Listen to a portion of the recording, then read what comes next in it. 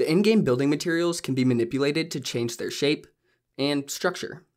Let's place a wall down to explain. Now with our wall right in front of us, we can press and hold the edit button. You can find your edit button on the pop-up box that appears as you approach the wall. Each building piece has its own editing recipes.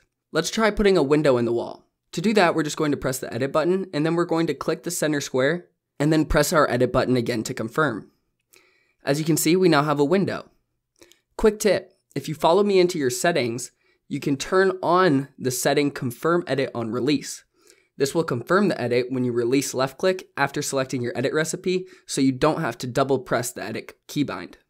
Try finding all the different combinations for each building piece.